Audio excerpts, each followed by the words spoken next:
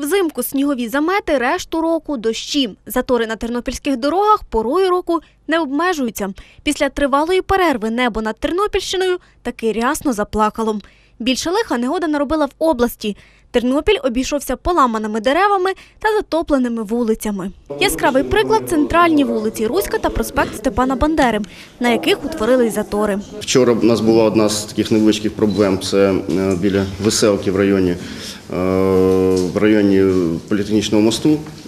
Мосту політехнічного університету е, погане сходження води, якраз власне пов'язане з тим, що е, залповий е, дощ протягом там півгодини е, наніс дуже багато гіляк, дуже багато піску, і власне е, лівньовка починає відразу блокуватися, і поки не знову таки трактор не забезпечив очистку, тобто десь 30 хвилин було е, дискомфорт для проїзду транспорту. Проблема, кажуть чиновники, стосується не лише цього місця, і тим більше не нова.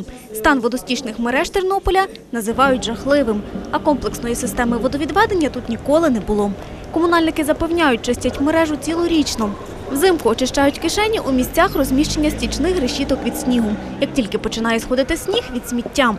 Та проблема криється значно глибше. Я не можу обіцяти, і так не буде, що там за рік чи за два в місті проблема з лівньовкою зникне. Вона знов таки накопичила десятками десятками років. Тому щоб її ліквідувати, треба ну, мінімум 5-7 років щорічних робіт по водовідведенню, щорічних, з бюджетом, не знаю, 50-70 мільйонів гривень кожного року. Тоді можемо з вами сказати, що через 5 років проблеми не буде.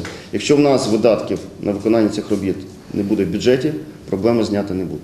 Таких грошей у міському бюджеті немає чи будуть і коли невідомо. Адже до прикладу з необхідних на поточний ремонт міських доріг 60 мільйонів гривень в казні закладено лише 7 мільйонів. На капітальний треба аж 300 мільйонів. Цьогоріч виділили лише 20. Тому поки тернополянам доведеться запасатись гумовими чоботами і навчитись зберегти власні нерви.